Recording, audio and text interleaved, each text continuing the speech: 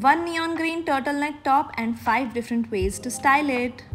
The first look is the casual one for which I paired the neon green top with a pair of blue denim jeans and cinched my waist using a blue belt. I also inserted the extra portion of the top inside to let a little bit of midriff show. For accessories I wore a pair of big round hoops, took a blue colored cap and also took this similar colored fanny pack across my body to give it a cooler effect. I wore a pair of transparent heels for footwear. Also I have inserted a little portion of the turtleneck inside to make it look like mock neck. And here we are ready with the coolest outfit. Shifting from casual to party ready. For this look I wore the turtleneck top first and on top of that I wore my little black dress. Since the neck of the dress is a little wide I pulled both the shoulders down to give it a cutout effect. Cinched my waist using a belt, wore a pair of silver studs and added a pair of black heels and I was good to go. I absolutely love how the turtleneck top is adding a pop of color to the entire outfit and the cutout thing is so much in trend these days so this outfit is gonna make you look super stylish and up to date with fashion trends.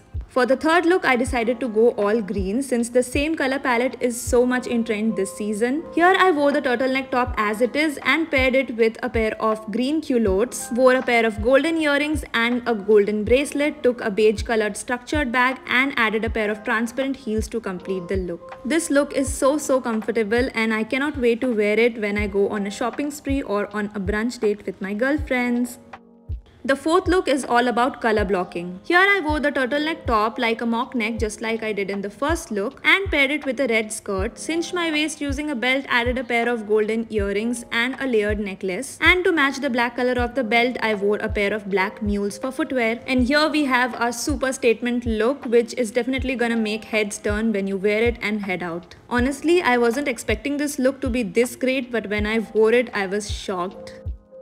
The fifth and the final look is gonna make you work ready. Here I wore the turtleneck top as it is and took a gingham blazer on top of it. Paired it up with a pair of black flared pants. And to accessorize I wore a silver choker and a pair of silver studs that I showed in the second look. For footwear I chose to wear a pair of black heels and the look was complete. This outfit is gonna make you look super fashionable at work and you guys will feel like you can conquer the entire world when you wear it. And this is one of my favorite favorite looks from the video too.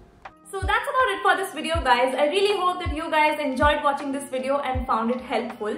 Do let me know in the comments down below which look from the video was your favorite and if you guys happen to try any of these looks then do not forget to tag me on Instagram. Also, do not forget to like, comment, share the video and subscribe to my YouTube channel and hit the bell button if, so that you get notified every time I post a new video. And now, as I always say, take care of yourselves, take care of your family and I will see you in my next video very soon. Bye-bye.